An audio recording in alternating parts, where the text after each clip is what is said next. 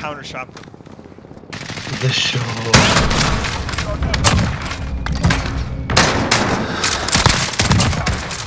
Microsoft Flight Simulator is getting uh, nines and tens. Pretty good.